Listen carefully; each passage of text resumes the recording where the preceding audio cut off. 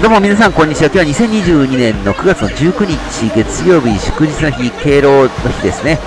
えー、映像はですね、昨日の18日の日曜日の日で11号からスタートでございます。えー、たまたまこの電車、列車ですね、撮ることができたということと、えー9月17日土曜日のですね、飛騨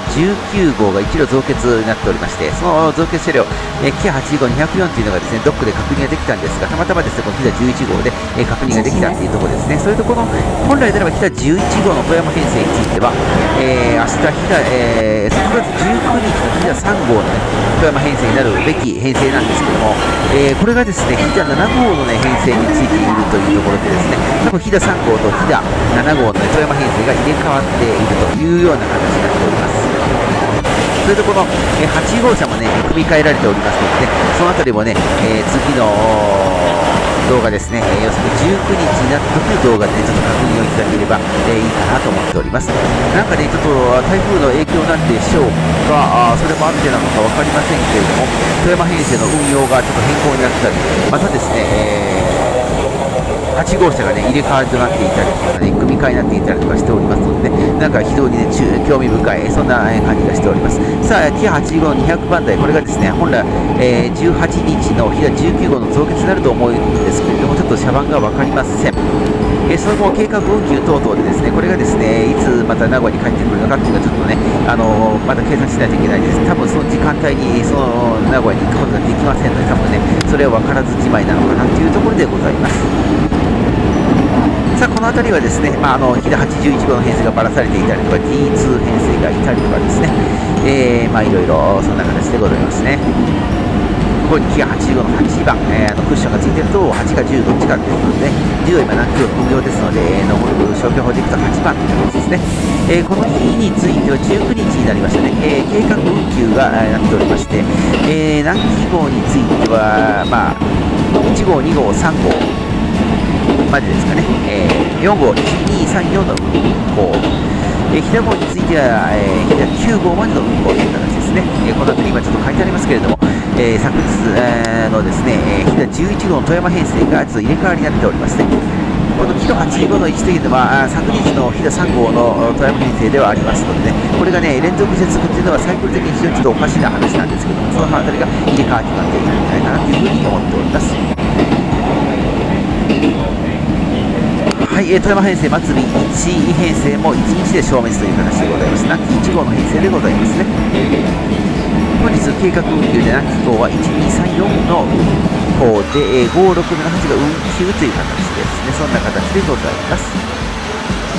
飛騨号については13579までが運行ですね。11号からも運休という形でございます。生産が必要です。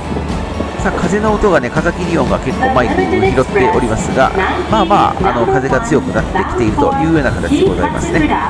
えー、すごく今ねあの風が吹いてるかというとそうではございませんけれども、ま今の時点でまだ九州にいるぐらいじゃないでしょうかね。それなのに風がね結構ね吹いてきております亡き1号4両編成で登場してはいいんですけれども後でね、えー、見ていただいたら分かると思うんで古屋駅に人がいません。名古屋駅に人がいませんね、え当然、えー、これ亡き1号で行った場合はその人に帰ってくることはできませんのでね、えー、もう計画を中止するというそんな感じなんでしょうかねこうやって、えご覧の通り人がねまばらでございますねかなりね人がいませんね。さあターミナルのね風景を撮って、えー、鳴き号を見ていきましょう、えー、これはもうキハ8分10というのがね分かりますね。あそこにキハ8分8が止まっているのでキハ8分10というのがね、えー、言わずもがなというところでしょうかね。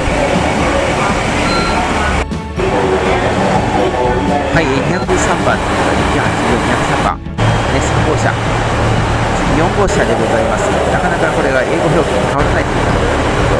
気になりました人がいませんね、人がいません、こんなに人がいないのでね、あの本当に、えちょっと前のコロナの、ね、最盛期とか、そんなとこじゃないでしょうかね。さあ、名古屋車両区でございます。一番左にいる85系、これが飛騨3号の編成ですね。飛騨3号の編成、富山編成がキロ85の1、キロ84、301がついております。これは昨日の飛騨3号の富山編成と同じ、えー、車両でございますので、こういったことは普通サイクル的にはございません。飛騨9号編成、えー、最後の1109、なぜか7号車になっておりましてね、また直すとは思いますけれども、なぜか7号車。はい、これまたね、あの17日の日で81号の線とか、そんな形になっておりますね。85、203、85のね、えー、13番とか行きま、84の13番とか行きましたね。えー、南紀号、2号は桑名行きに変更でございますね。えー、3号も桑名発に変更でございます。えー、飛騨号は11号から20号、20号、36号が運休と、えー、信濃もこれだけが運休となっておりますね。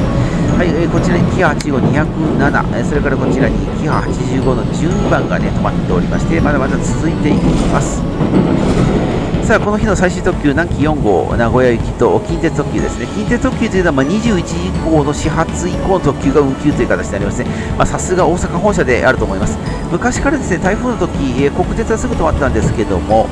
え近鉄はね、嵐の中、まあ、台風の中でもね、元気にね、あの走っておりました。そのね、え光景が今思い出されました。